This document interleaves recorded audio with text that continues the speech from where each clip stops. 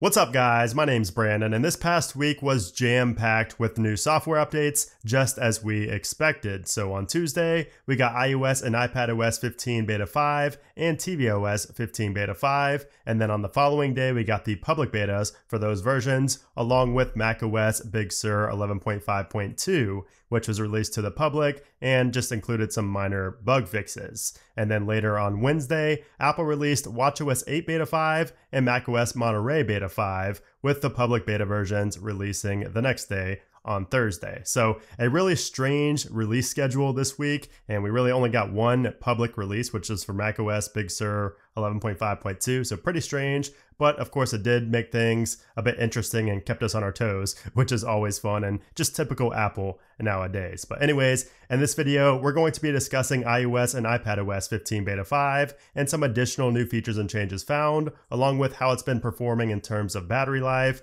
connectivity, and just overall performance. So, let's start off by going over some of these additional new features and changes. So the first one has to do with background sound. So if we go into our settings and then go to accessibility, and then let's go down to audio visual and then to background sounds, you can see that we have a new toggle at the bottom here in beta 5. We did not have this in beta 4. So just for reference, I will have beta 4 pulled up over here on the left. So if I go to the same section, you can see that on beta 4, we did not have this toggle right down here at the bottom. So it says stop sounds when locked. When enabled, background sounds will stop when iPhone is locked. So very self-explanatory. So this is a nice feature if you use background sounds, although I'll probably leave this off just because I usually have my phone locked when I'm sleeping. So I don't want the sounds to stop, but that is a new toggle in there if you use it for another reason. We also have a minor change to the focus mode notifications here in the notification center in beta 5. So before it would show like all of the apps right here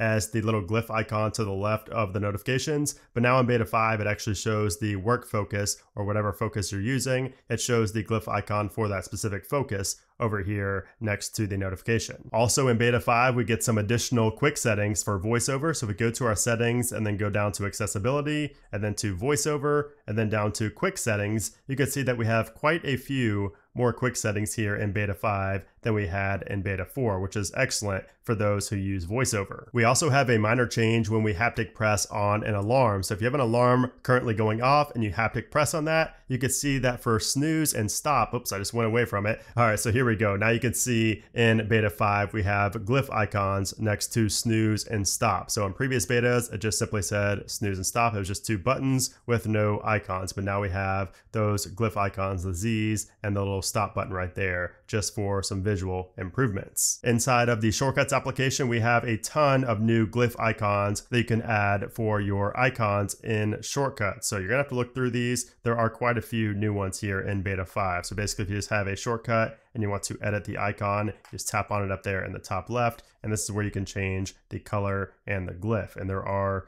new glyphs here in beta 5. Another feature in beta 5 that I covered in my initial what's new video is that you can see it shows now when you go to power off your device it says iPhone findable after power off whereas in beta 4 there was no verbiage there until you just turned off your phone then it showed it at the bottom. Well, there's actually something small that I missed here in beta 5 as well. So this text is actually clickable. So if you go and tap on that, you could see you get this little menu right here that says iPhone remains findable after power off. And then you actually get the option to temporarily turn off finding. So that is a new feature here in beta 5. And if we tap on that, you can see that you have to put in your passcode before you can turn that off. So this is great if somebody's trying to steal your phone and turn it off and think that it's, you know, untraceable. We also have some changes inside of the Maps application. So you can see the satellite icon has changed. So look up there in the top right above the arrow, you can see that that glyph icon has been updated here in beta 5. And speaking of the Maps application, in my initial What's New video, I mentioned how the Maps application was now displaying the length of time in traffic like Waze does. And I asked you guys in that video if that's new and if you're seeing that. And thank you to everybody who responded to that because I actually got some Instagram DMs, some comments on Twitter, everybody notifying me that yes, Apple does in fact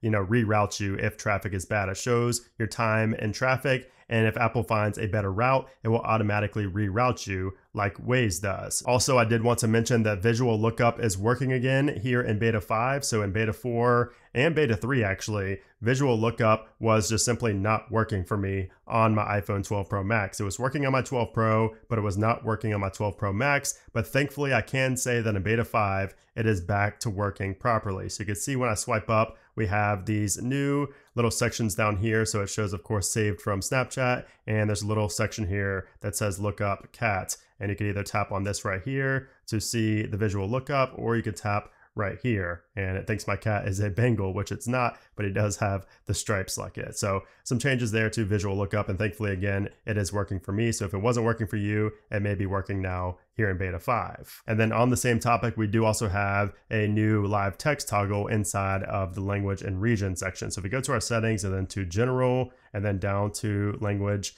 and region right here, you can see that we have live text right here as a toggle a kill switch to turn that on and off for your photos. So just another way to do that. And then lastly, we also have a new feature with the MagSafe battery pack here in beta 5. So if we have the MagSafe attached to the back, and we go to our control center and we go and haptic press on low power mode, the toggle here in control center, we have a new option here for charge past 90%. So that is not there if you don't have this battery pack attached, of course. So if we go to that and then haptic press, you can see it just shows low power mode. And by the way, I don't think you could actually haptic press on that in previous versions. So let me go and check here on beta 4 just to confirm that. Yeah, so you could not haptic press on that at all actually in beta 4. So not only can you haptic press on that, but you also get the additional option there if you do have the MagSafe battery pack. Now, as far as bug fixes go, we do also have a bug fix for the medium sized music widget. So you guys know in previous betas, I pointed out how the small widget right here actually shows more of the song than the medium sized widget, but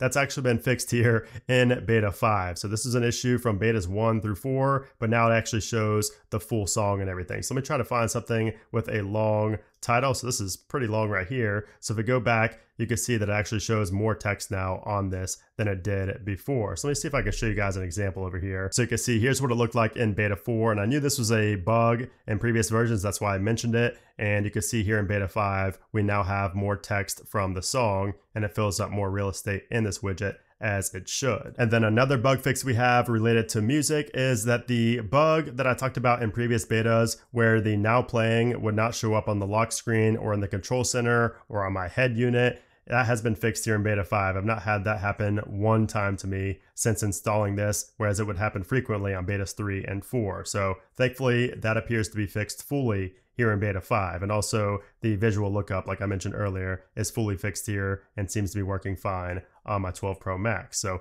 great bug fixes in this update, even though Apple didn't really mention too much in their release notes. Now, as far as remaining bugs go, we do still have a few bugs here in beta 5. It's not perfect. We are still in the beta stages. It's a lot less buggy, I will say, than beta 4 overall, a lot less bugs, but we do have some. And one is that somebody mentioned this on Twitter. They mentioned me on Twitter in a DM that when they tried to change their iCloud profile picture, it crashed their settings multiple times. So it appears that is a new bug here in beta 5 when you try to change your iCloud profile picture. So luckily not anything you guys are going to be doing frequently. So that should be fixed in beta 6, but I did just want to point that out. Also, Twitter crashing is still going on. So I am still having Twitter crashes from time to time, although it does seem a little bit less frequent now in beta 5. It could just be because of the update in the App Store to Twitter. I'm not sure, but I will keep monitoring Twitter for crashes because, again, one time in beta 4, it actually made my device completely respring. And then, as far as banking applications go, banking apps are still not working properly for me or for many others, especially when it comes to logging in via Face ID. It just simply doesn't work on these iOS 15 betas, which is unfortunate. And again, those may not be fixed until the final release of iOS 15 because that's when the banks will actually update their applications to be fully supported with 15. And you guys have also had some additional bugs here on beta 5 that I have not had, but I will talk about those in the community poll section of this video, which we'll talk about here in a moment after we talk about the performance and the battery life. So as far as the performance goes, here in beta 5, it's actually been excellent so far. So I called this in my what's new video along with the battery life, but we'll talk about that in a moment. But the performance is great. I don't have near as many crashes as I had in beta 4. Apps are just performing great. Safari is a lot better. FaceTime is a lot better. Just overall performance seems better in beta 4. The Geekbench scores support that theory, and a lot of you guys also have reported that it's just a better experience overall here in beta 5. Now, where the real, you know, improvements come here in beta 5 seem to be with battery life because battery life is actually significantly better here in beta 5 compared to beta 4 according to myself and a lot of you guys. So I would say most of you guys have had a better experience with the battery life here in beta 5. So I'm gonna go ahead and pull over my iPhone 12 Pro to show you guys the battery life I'm getting. So we go into my settings here. Let me get this out of dark mode just for the video. Let's go to battery and you can see here that I'm actually getting solid battery life. So it's hard to tell always from these graphs, but I have been using my phone quite a bit recently. So you can see kind of my stats there. But battery life is performing a lot better. You can see here, I charged my phone until like 11 and used it pretty much all day and didn't charge it again until like 5 o'clock which is good when I'm using my phone that much. I was not getting, you know, near that good a battery life on beta 4. So I'm getting about an hour more of screen on and screen off combined at time here on the fifth beta compared to the fourth beta. So battery life, definitely an improvement here in this fifth beta. But as far as connectivity goes, some people are reporting new connectivity issues here in beta 5. So I have not experienced this, but some people are having issues with Bluetooth connectivity and also cell connectivity. But I feel like that is something that everybody mentions or some people mention in every beta. So not too sure about that, but I have not been impacted by any type of connectivity issues. But if you have, let me know in a comment down below and we'll talk about more of that in the community poll. So let's go and actually look at that community poll now. So if we go to my YouTube channel here, let's see if it pops up first right here. So there it is. You can see here, this is the poll. How has iOS 15 beta 5 been running for you so far? And you can see we have over 8,400 votes. So thank you to everybody who voted in that. And for me, it's borderline excellent, but I'm still going to say good because there are still a few minor bugs, especially with the banking apps and Twitter and things like that. So I'm just going to go ahead and vote for good. So you can see that is actually the second highest. So wow, excellent is higher than good this time. So you can see here that 23% of people said that beta 5 is excellent with no major bugs and good battery life. 19% said good, just a few minor bugs. 5% said not so good, and 52% are on 14.7.1 or lower. So, wow, that is an impressive result there for Beta 5, getting 23% on excellent. So, if we go ahead and compare that actually to previous ones, I'll show you guys. So, 16% was on the last beta. So, that is a massive jump when we're talking about thousands of votes. Going from 16% to 23% is huge. So that alone should tell you that everybody's having a much better experience here. As you can see, it was 16% on beta 3 as well. And let's see what it was on beta 2. So 17%. So it hovered around 16 to 17%. But this time around, of course, we don't have as many votes yet, but it's hovering around, you know, 20 to possibly 25%. So a huge improvement there in just voting for excellence. So let's go ahead and see what you guys had to say here in these comments. So battery life is good and the IT is a bit buggy, but it's okay for an early beta. I'm not sure what the IT is there. But uh, you can see your battery life is surprisingly great on my iPhone 7. All major bugs have been ironed out. I might actually consider installing it on my main device. So that is always good to hear. And if you guys ask me, I think it's fine to run on your daily device now. So after this fifth beta, I am convinced that you guys can run this on your main device as long as you don't mind using Safari for your banking, you know, logins and things like that because the app won't work as well, at least not for most banks. So iPhone 10R battery life is really good. I'm a heavy user and it lasts quite a while. Good to hear. So a lot of mentions of battery life here. You can see almost, you know, everybody mentions battery life improving, which is great. So it looks like Beta 5 fixed the guided access bug, and the only problem he's having is with Bitwarden, which is his password manager. It's unusable in Beta 5. The most important thing is that the issue which was in the banking app was fixed. So it looks like some people are actually having a fix for their banking app. So that's good to hear. So let's go ahead and see what some of you guys also had to say. This update fixes all my issues on beta 3 and 4, and it's very smooth. The only issue I have are display bugs, such as AirPods menu having a large gap. So I'm, I'm not sure about that. I've connected my AirPods pretty much every day, and I've not noticed any type of issue there. Christina here says, I've had it for nearly a week and still can't get used to the new Safari. I hate it so much. So I hated it too my first couple of weeks, but I grew to love it after like a month or two of using it. So having small issues with camera focusing. Funnily enough, if I take the picture anyway, the picture looks fine.